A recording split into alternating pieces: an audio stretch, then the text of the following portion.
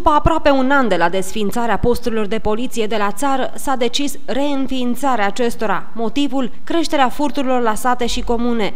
În județul Giurgiu vor funcționa 51 de posturi de poliție în care vor activa 282 de polițiști. Se înregistrează o creștere a numărului de infracțiuni sesizate, în special cele de natură judiciară, de la nivelul județului.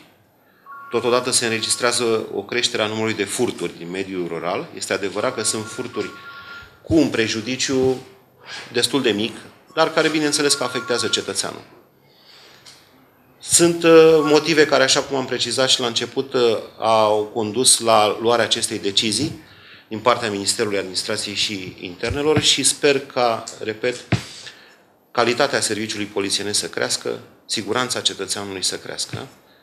Totodată ne bazăm pe o bună colaborare care ne dorim să o avem cu administrația publică locală, pe sprijinul pe care dorim să-l primim și sunt convins că va fi din partea administrației publice locale, județene, din partea instituției prefectului, pentru o organizare cât mai bună a posturilor de poliție. S-au identificat și soluțiile pentru dotarea posturilor de poliție cu autoturisme, nu însă și pentru localitățile Mârșa, Malu și Gostinu, care trebuie să mai aștepte până ce vor primi mașini. Un aspect negativ al reorganizării poliției rurale îl reprezintă faptul că multe dintre posturile de poliție nu sunt amenajate corespunzător, în sensul că mobilierul este vechi, nu sunt calculatoare și nici telefoane. Un caz excepțional se întâlnește în comuna Săbăreni, unde polițiștii nu au nici măcar sediu, iar în prezent se caută o soluție cu primăria pentru rezolvarea situației. Dincolo de aceste aspecte, Poliția Rurală își dorește creșterea nivelului de siguranță al cetățenilor, având în vedere că în mai puțin de un an, infracționalitatea în comunele din județul Giurgiu a crescut cu